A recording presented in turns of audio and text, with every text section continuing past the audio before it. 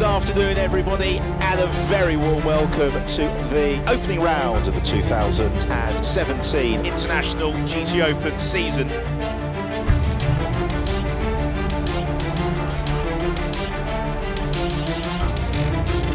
Wait for the lights to change. And they go now, and away we go. The field fans out as they sprint towards turn one. Oh, the West goes off. Slides off at turn two just as the Lexus closed onto his tail.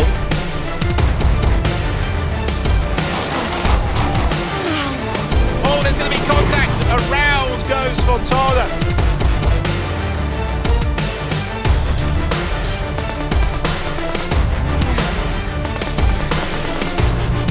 Checker flag goes out and victory goes to Mikkel Mac and Miguel Ramos.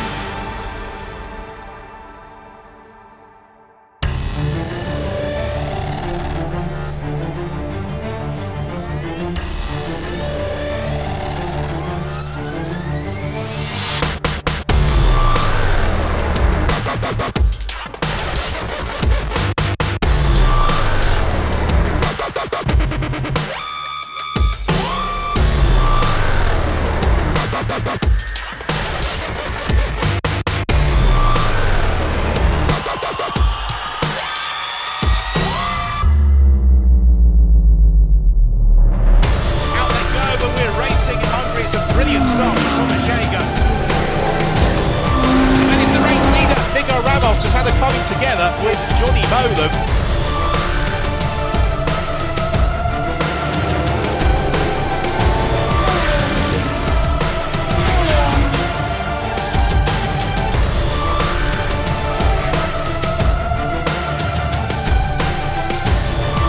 Dolby runs one, they all run wide. There's damage all over the place. Martin Konrad crunches into the Armco barrier.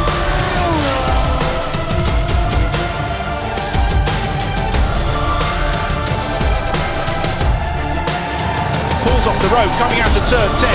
It's suddenly all happening, and Probabilla is in trouble.